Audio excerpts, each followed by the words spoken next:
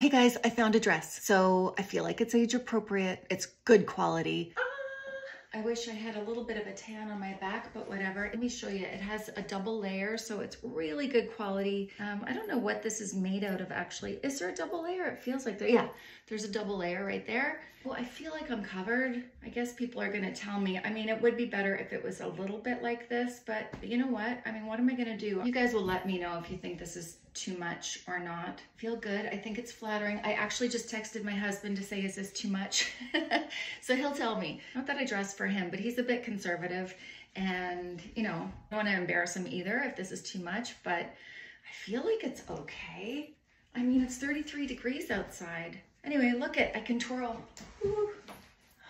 So pretty. Let me know what you guys think. The link will be in my like to know it. I hope this helps and I will see you later. Bye.